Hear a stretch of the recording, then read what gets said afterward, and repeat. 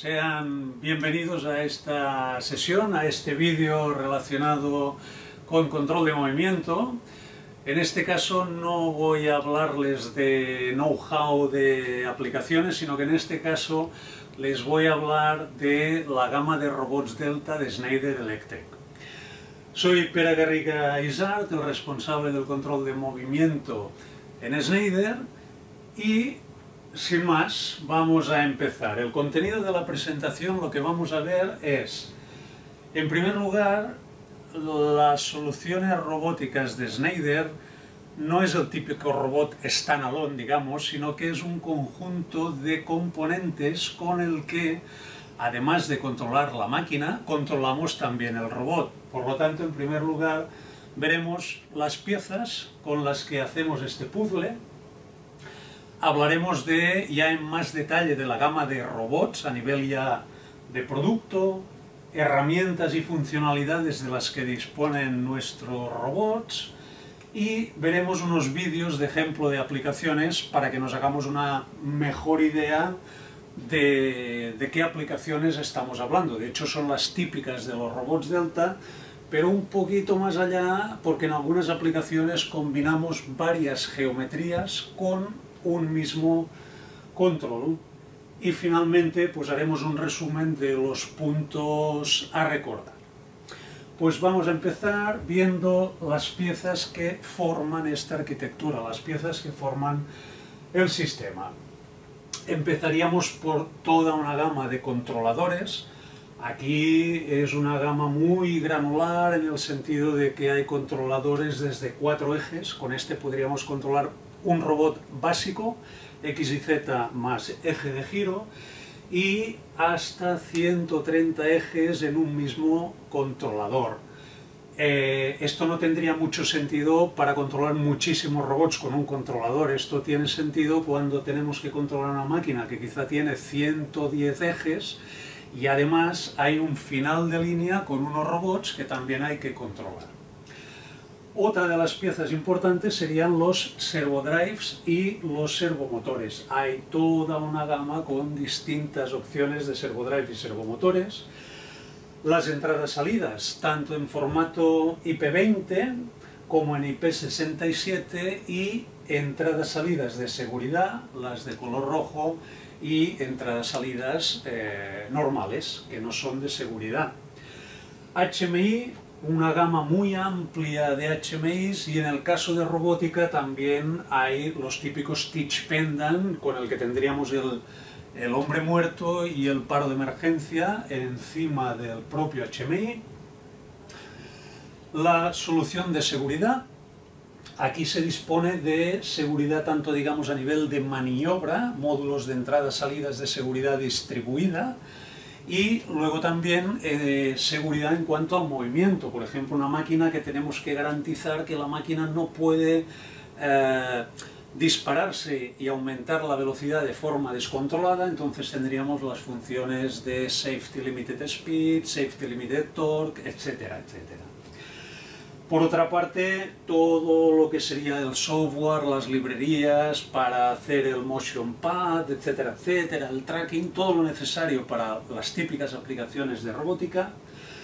Y aquí tendríamos los robots en sí, digamos la parte mecánica de los robots, desde los robots cartesianos hasta los robots Delta 2, Delta 3 de hasta 5 ejes. Esto es fabricado por Schneider, y cuando hablamos ya de robots escara, aquí la mecánica ya se complica mucho, entonces lo que hacemos es, tenemos un acuerdo con Staubli, Staubli fabrica la parte mecánica, incorpora ya nuestros uh, servomotores, ya conectamos a nuestros servodrives y controlamos el robot escara.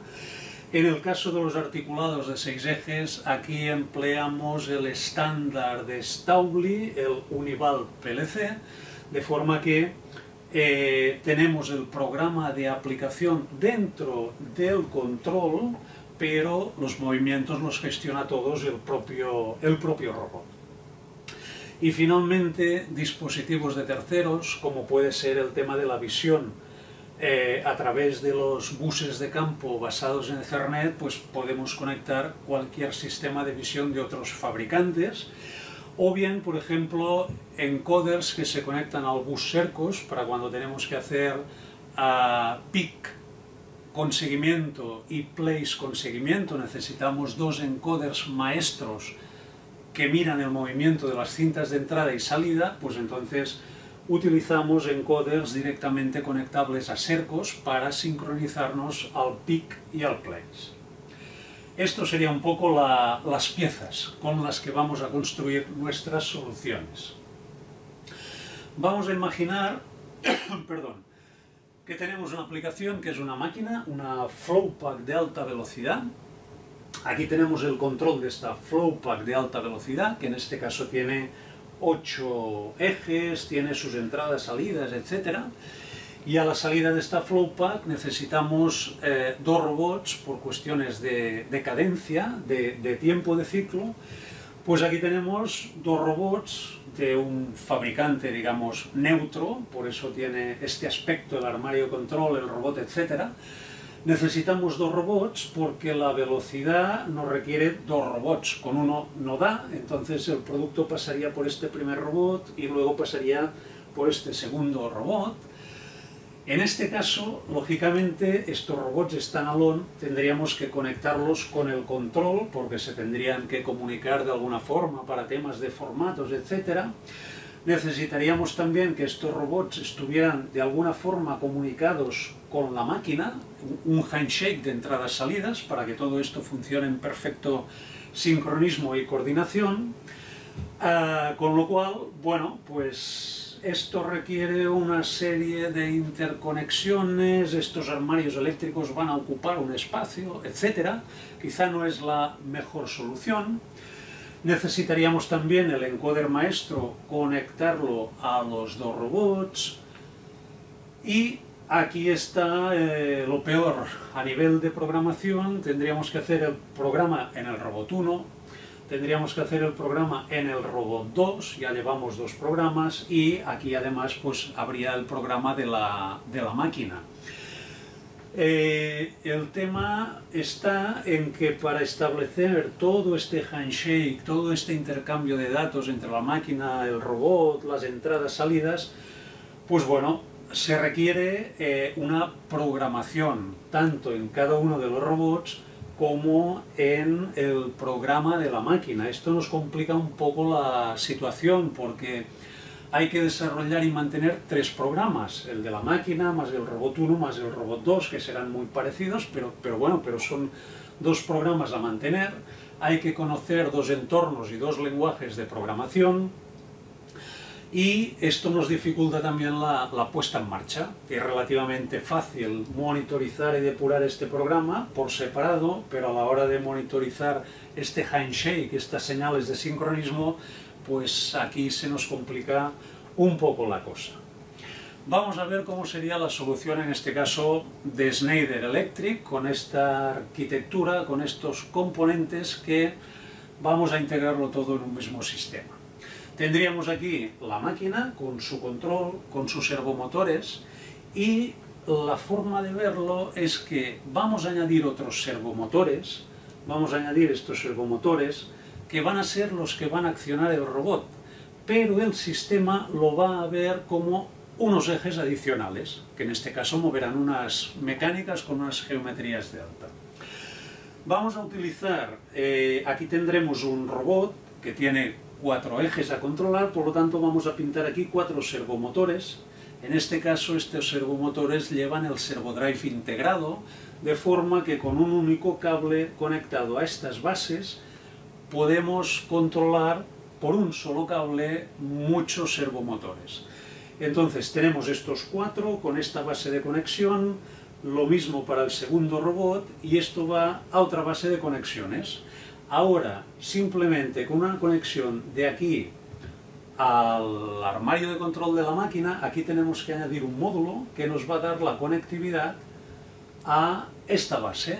Y con esto ya tenemos integrados estos ocho ejes adicionales que nos van a mover los robots, más este eje adicional que nos va a mover la, la cinta.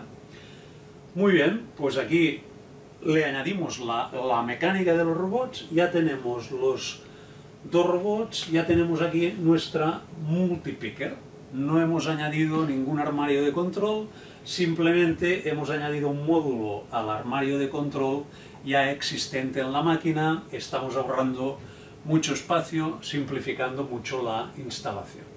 Y añadiríamos aquí pues, nuestra cámara, nuestro sistema de visión. En este caso, a nivel de programación, puesto que los robots pasan a ser unos ejes más del sistema de control, esta CPU, este controlador, está manejando todos los ejes, sean de los robots, sean de la máquina, es un sistema totalmente integrado, un único programa está manejando la máquina y está manejando los robots, con lo cual es mucho más fácil de mantener porque tenemos un único programa, esto nos facilita el, empezando por el desarrollo de la aplicación, la puesta en marcha, el mantenimiento, todo es más sencillo. Y un punto importante también es que en una misma máquina un mismo controlador puede controlar un robot delta, puede controlar un robot delta más un escara, eh, un cartesiano, cualquier combinación de geometrías es posible, con lo cual todavía más simple y en función del número de robots y ejes, pues la solución es más efectiva en costes porque con un solo controlador estamos accionando todos los robots, sean del tipo que sean. Vamos a ver esto en una aplicación real, en un, ejemplo. Imaginémonos esto que vemos aquí, estos puntos marrones son, no sé bien bien cómo se le llama, planté. Es como si fuera una pequeña planta que empieza a brotar y tiene un poquito de tierra, como si fuera un pequeño flan. Y esto está lleno de, estas plantas. Creo que también le llaman semilleros.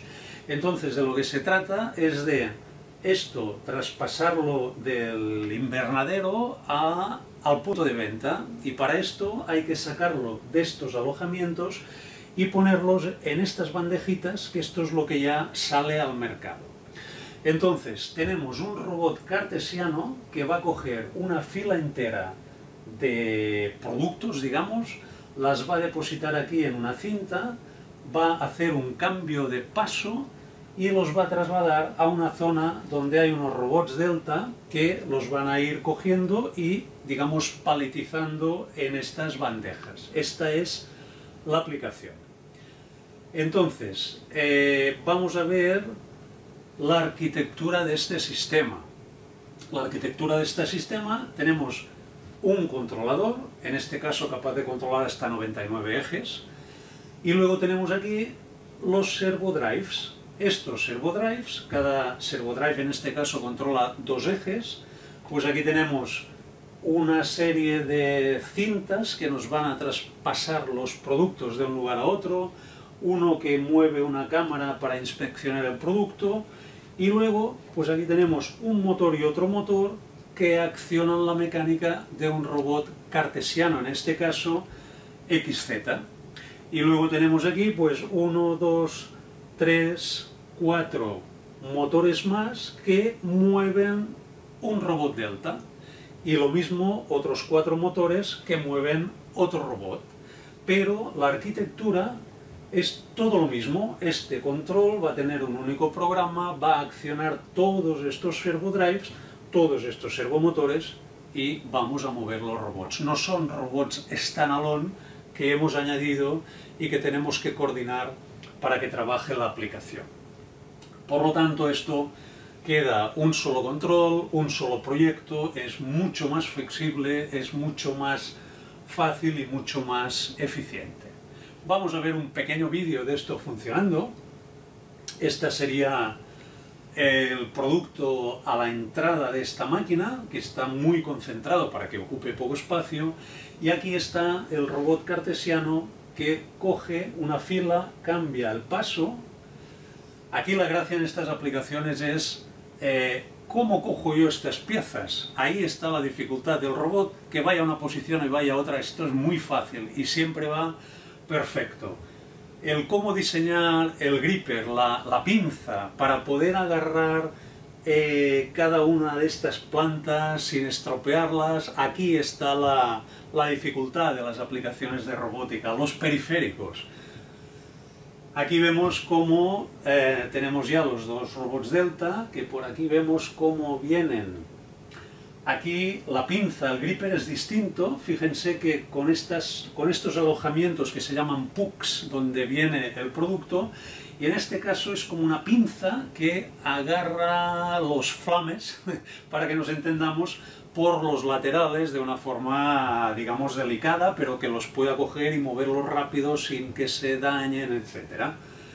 Es un ejemplo de aplicación en la que se combina un robot cartesiano más dos robots delta para hacer estas simples operaciones. No es en este caso una aplicación de gran velocidad muy espectacular, pero eh, es interesante en este sentido.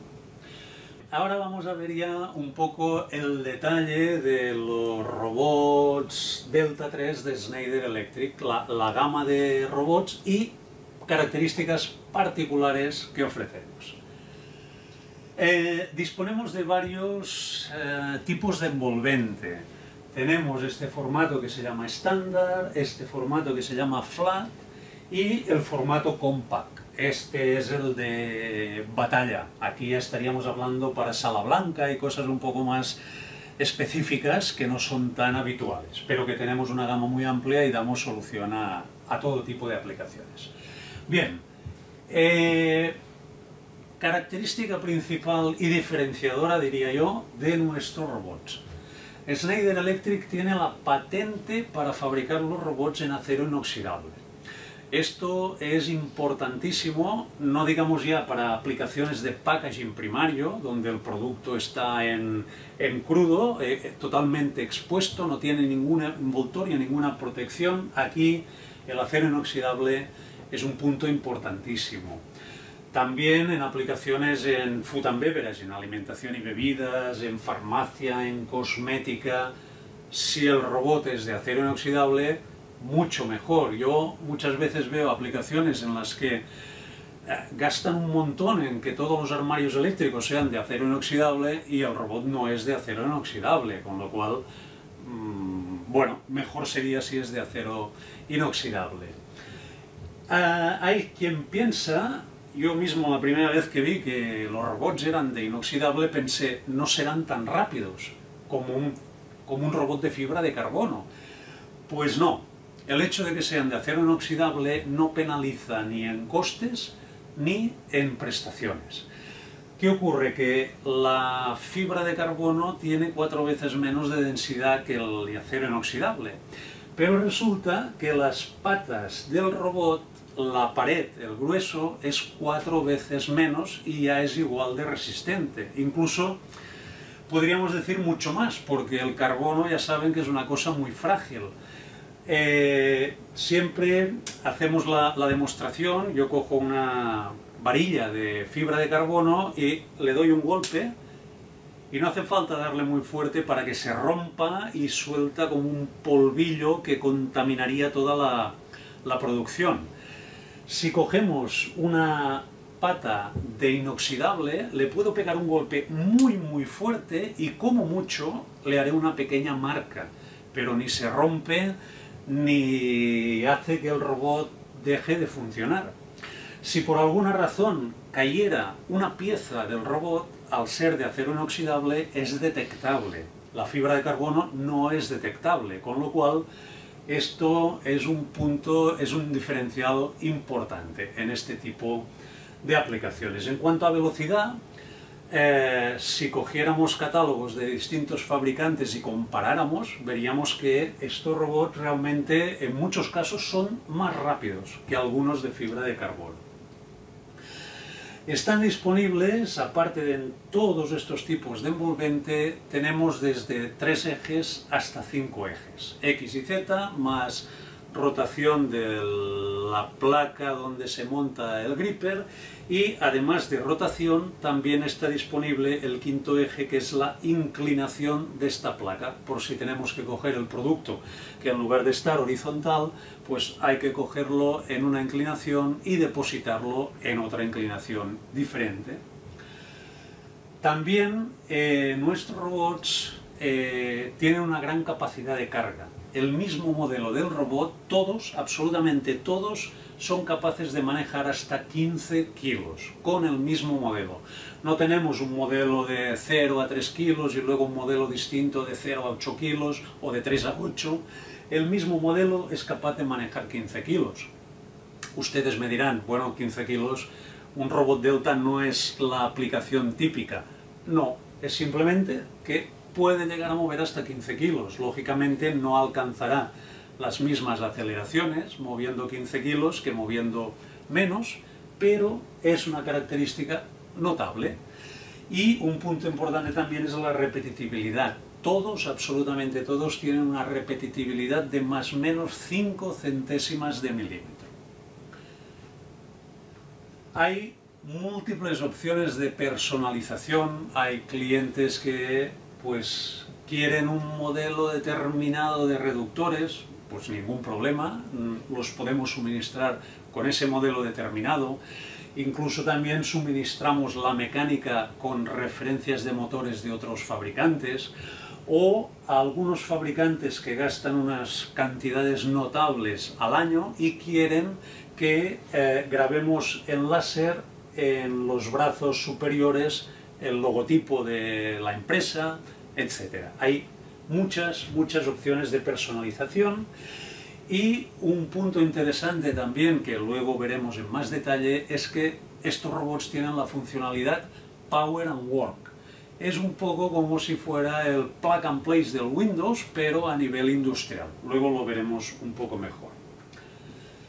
Entrando en un poco más de detalles, a nivel de envolventes, básicamente, esta envolvente tiene uh, certificado para sala blanca, según la ISO 14644-1. Eh, en este caso sería una opción para un grado de protección IP65 que le podamos dar con la manguera a efectos de limpieza, aunque no con chorro de alta presión. Y luego tenemos esta opción, el Compact.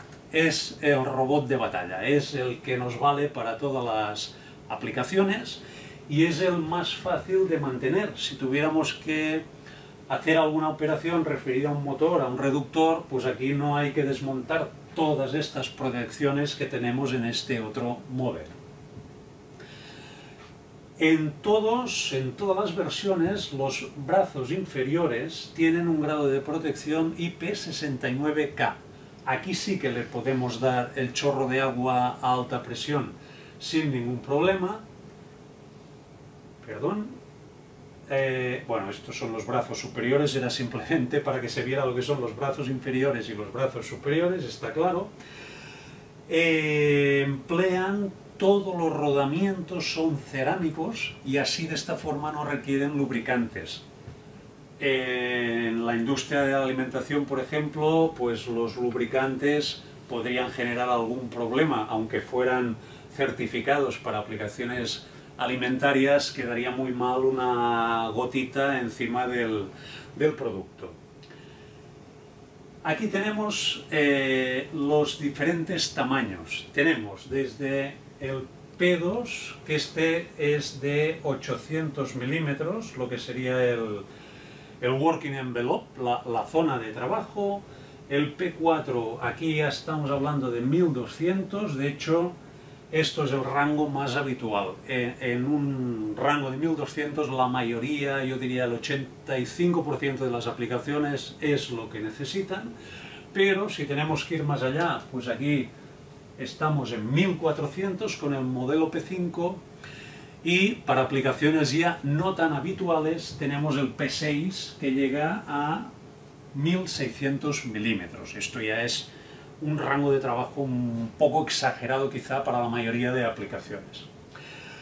Eh, con lo cual, con estas cuatro tallas, digamos que cubrimos perfectamente toda la gama de posibles aplicaciones de robots Delta todos, todos, absolutamente todos los modelos admiten esa capacidad máxima de carga de 15 kilos. Claro, no es lo mismo con estas longitudes de brazos aguantar 15 kilos que con estas aguantar 15 kilos cuando esto está en una posición extrema. Pero todos admiten estos 15 kilos. Y por otra parte, todos tienen la misma repetitividad de esas más o menos 5 centésimas de milímetro. Estos serían las curvas de eh, velocidad en pics por minuto según el tamaño del robot y según la carga, basado en el típico perfil de movimiento de la U invertida que digo yo de subir 25 milímetros, desplazarnos 305 y bajar 25 milímetros.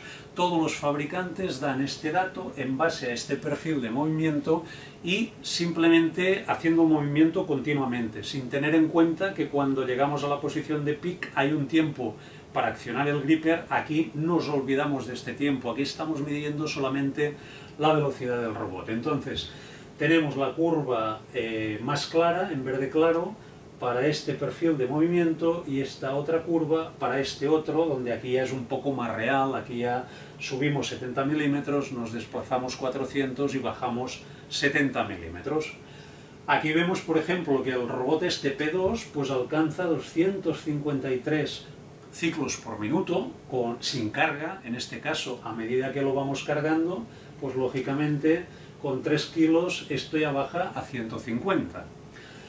Y lo mismo para el otro perfil de movimiento. En el caso de este otro perfil de movimiento, sin carga llega a 192 ciclos por minuto y con 3 kilos pues ya estaría en 100, no sé, 125 aproximadamente. Así tenemos aquí lo mismo para el P4 y para cada uno de los modelos para poder valorar en base a una carga, determinar más o menos cuántos pics por minuto puede hacer el robot. Este es un vídeo que llegamos a medir realmente hasta dónde podíamos llegar con un robot de los pequeñitos, del tamaño P2. Aquí vemos el movimiento a cámara súper rápida para ver que realmente está haciendo este movimiento. Esta pantalla de metacrilato está vibrando porque esto es un robot de laboratorio que no tiene una estructura súper reforzada, entonces a estas velocidades vibra un poco el metacrilato. Ahora lo vemos a velocidad real. Y en este caso no son 253 pics por minuto que habíamos visto, sino que este robot llega a los 301 ciclos por minuto, mucho más de la característica que damos como, como válida en el, en el catálogo. Eh, y aquí tendríamos las mismas curvas para el modelo P5, para el modelo P6, etc.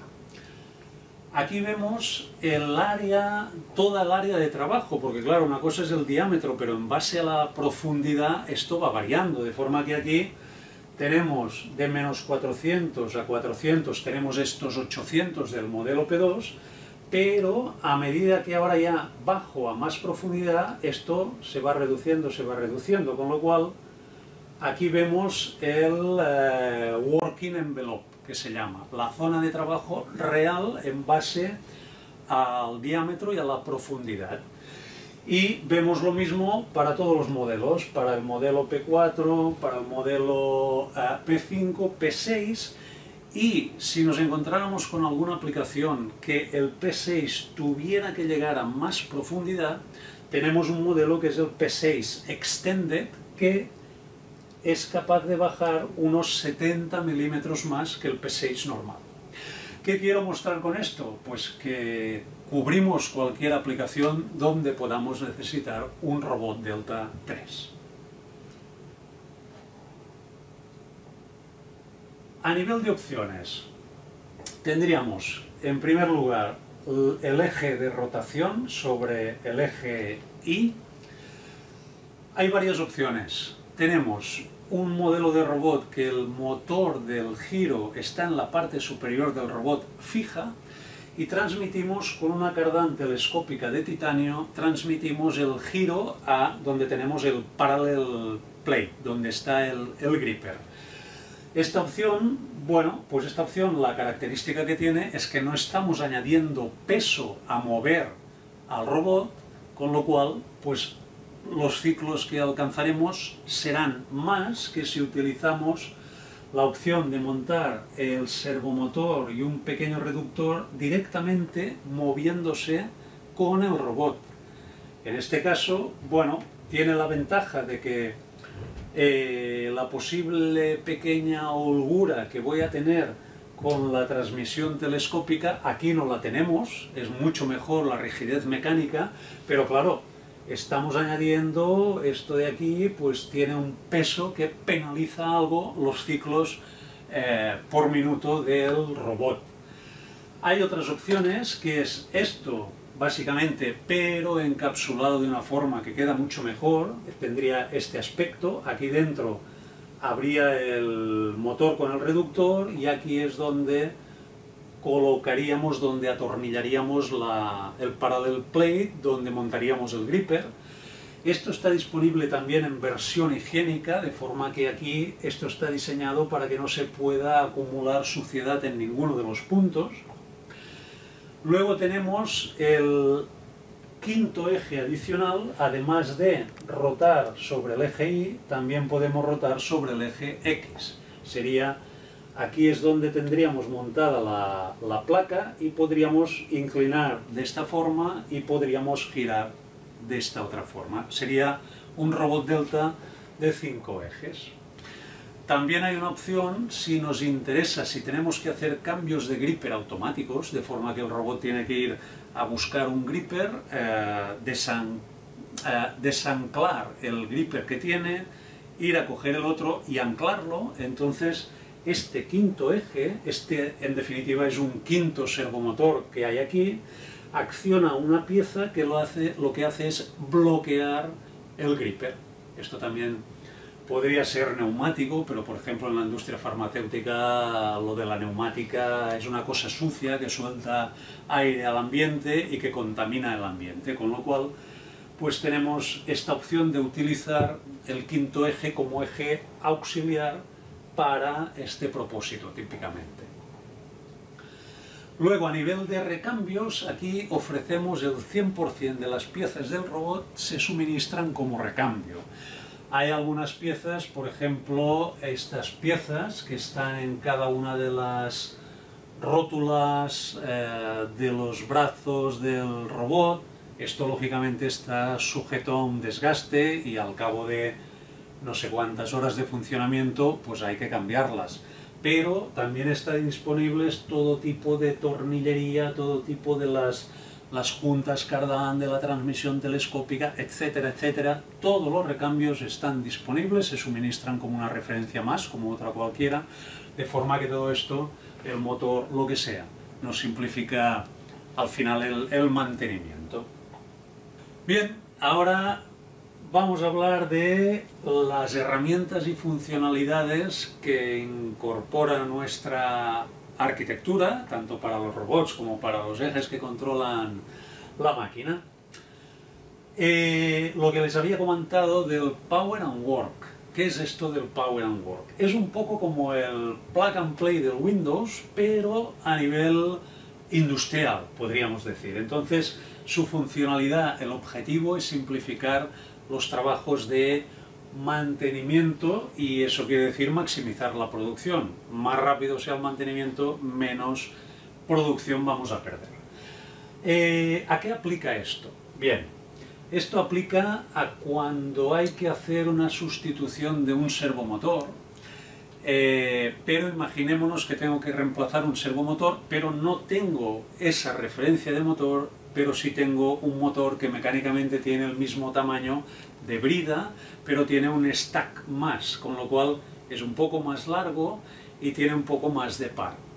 ¿Qué ocurriría si no tenemos Power and Work? Pues que tendríamos que abrir el software ah, de programación del robot, de la máquina, tendríamos que ir a un sitio donde especifica la referencia del motor, tendríamos que cambiarla para darle la nueva referencia del nuevo motor, descargar la aplicación, cruzar los dedos y que todo funcionara bien.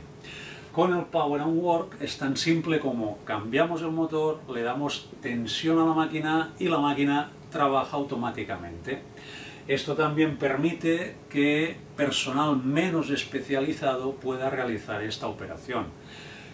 Lo habitual sería que debiera de hacer esto una persona que tuviera la capacidad de manejar el software de programación y en este caso lo podría hacer un mecánico, por decir algo, porque lo único que necesitará es hacer la sustitución mecánica y dar tensión de nuevo al sistema.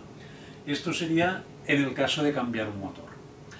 En el caso de cambiar un servodrive, sería muy parecido. En este caso podría ocurrir que en el almacén tenemos servodrives de 27 amperios de pico y yo necesitaba uno de 15. Con una arquitectura tradicional tendría que abrir el software de programación, cambiar la referencia al servodrive y aquí no tengo que hacer absolutamente nada. Quito un servodrive de 15 amperios, instalo un nuevo servodrive de 27 amperios, doy tensión y la máquina funciona. Power and work. Hay otras situaciones donde esto todavía da más valor. Imagínense que la máquina lleva, el robot, lo que sea, lleva cuatro años en funcionamiento y resulta que ahora tengo que cambiar un servodrive, pero no lo tengo en el almacén, tengo que comprar una nueva unidad. ¿Qué va a ocurrir? Pues que el firmware que venga en este servodrive ya no se va a parecer mucho al firmware que tenía la anterior.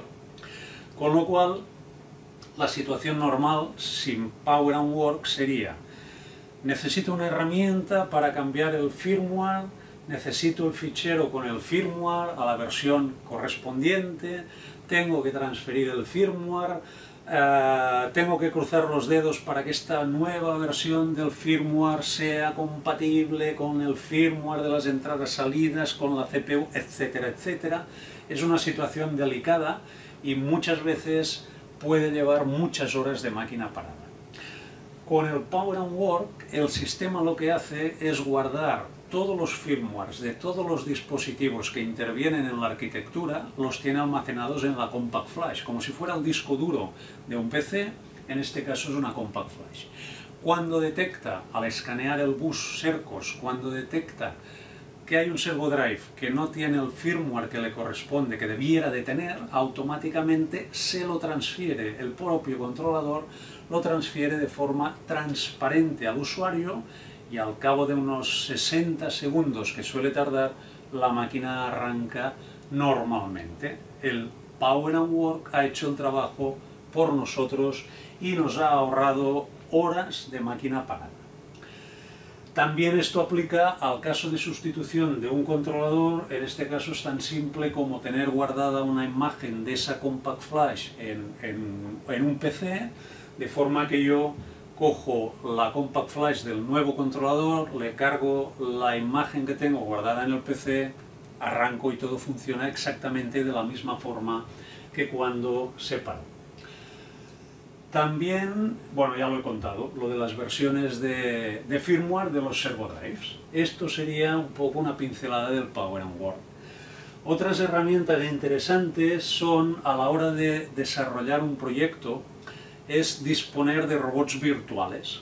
En este caso es eh, un software de simulación que tengo el robot virtual y interconecto los servomotores del robot con los servomotores en modo virtual de mi programa de aplicación, con lo cual estoy viendo lo que hace la máquina, estoy viendo los robots virtuales moviéndose sobre este simulador. Esto me va a permitir que cuando tengo ya la aplicación validada en modo virtual, voy a la, a la máquina real y en principio pues debiera de funcionar, iba a decir a la primera, pero si funciona a la primera es que no lo hemos probado bien, pero nos vamos a ahorrar mucho, mucho tiempo.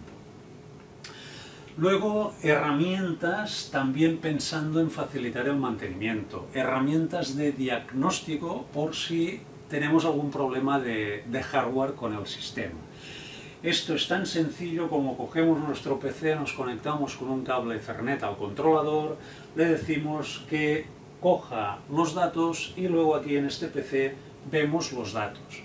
Básicamente lo que vemos es toda una serie de data loggers que tiene el sistema internamente donde nos va a decir pues este eje ha entrado en error de seguimiento, eh, la tensión de alimentación ha bajado por debajo de 18 voltios en este momento, nos va a dar en todo momento qué es lo que está pasando y lo vamos a poder visualizar de una forma muy amena. Por ejemplo, aquí nos está enseñando el control, el anillo de cercos con todos los servomotores, nos está enseñando la topología. Simplemente clicando encima de un equipo, aquí nos enseña la información, en qué estado está, etcétera, etcétera.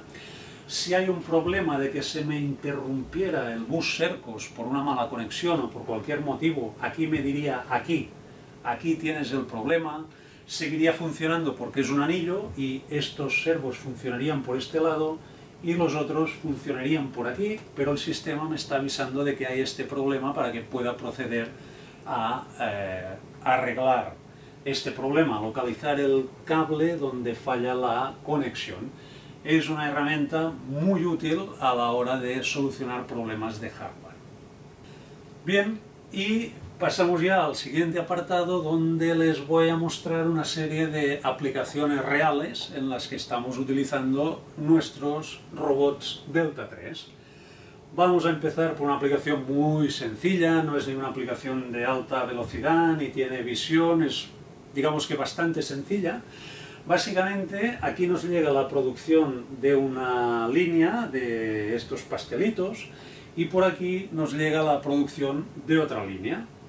Tenemos una única máquina envasadora Flow Wrap que es esta cinta de aquí con los cangilones. Entonces tenemos que alimentar esta Flow Pack de las dos líneas que nos están suministrando el producto y el robot simplemente pues va cogiendo a medida que le va llegando producto de, de una línea u otra línea y lo va introduciendo en la cinta de entrada a la flopa. Muy, muy sencilla. Lo único que tiene es, aunque no lo parezca, hace el pic lo hace con tracking. Si se fijan, coincide a veces que cuando en el momento en que coge hace el avance del producto y si se fijan verán que realmente el robot también se desplaza porque está en tracking. De hecho, el tracking no tiene ninguna dificultad, es simplemente cuando se programa el robot decirle que el sistema de coordenadas de la cinta haga tracking respecto a un encoder maestro o respecto a otro eje. Se vincula y me da lo mismo, no me implica ningún cambio en la programación el hecho de que esté en tracking o no esté en tracking. Pues esta es una aplicación, ya lo ven, de lo más sencillo en este caso. Aquí, bueno, no es imprescindible que esto sea de inoxidable, porque en este caso no es packaging primario. El producto ya viene protegido, ya viene envuelto, con lo cual si esto fuera de fibra de carbono y se rompiera una pieza, bueno, pues no sería tan grave. Pero si es de inoxidable, pues muchísimo, muchísimo mejor. Esta es una primera aplicación. Más aplicaciones. En este caso se trata de coger estas pechugas de pollo y depositarlas en unos blisters, en unas bandejas de plástico. Eh, las pechugas pasan por un pesaje dinámico para saber el peso de cada pechuga, eh, se miden con un sistema de visión y se posicionan en la cinta. Entonces los robots, hay dos porque tenemos que ir a 200 por minuto y con un solo robot es imposible, hay que poner dos robots y lo que van haciendo los robots es ir cogiendo combinaciones que den el peso resultante y lo van depositando en, eh, en las bandejas. Cuando hay, aquí lo vemos, cuando hay alguna pechuga que no entra en ninguna bandeja por peso, entonces lo lanzan a una caja, que estas cajas es para suministrar el producto a, a, granel, ya no importa el peso, lo van tirando allí. Esto se ve a cámara lenta para ver cómo realmente lo coge, lo lanza, etc. Es otra aplicación. Aquí también el acero inoxidable es imprescindible. Esto tiene que ser inoxidable, sin ninguna duda.